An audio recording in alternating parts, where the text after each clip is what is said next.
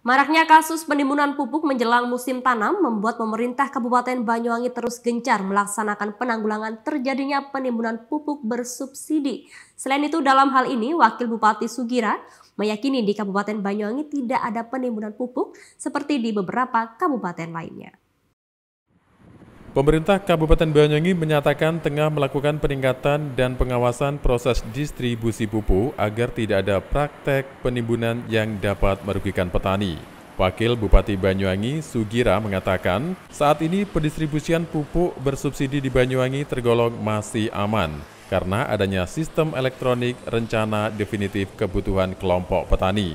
Selain itu, pada kesempatan ini Haji Sugira juga menjelaskan, guna menanggulangi maraknya aksi praktek penimbunan pupuk, Pemkap Kabupaten Banyuwangi terus berkoordinasi kepada TNI, Polri, serta meminta dinas terkait untuk terus melakukan pendataan ke sejumlah titik yang ada.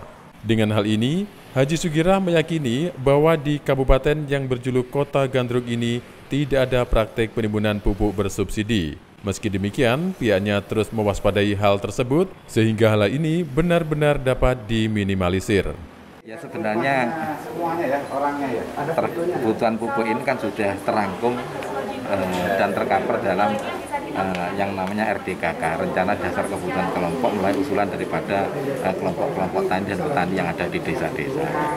Sehingga itu yang jelas eh, kayaknya tidak mungkin lah ada penimbunan pupuk-pupuk itu di samping memang kita juga lakukan pengawasan kita bekerja sama tentu dengan eh, kepolisian dengan TNI Polri di dalam rangka promosi agar eh, distribusi pupuk ini benar-benar sampai ke tangan petani dengan baik dan benar seperti itu.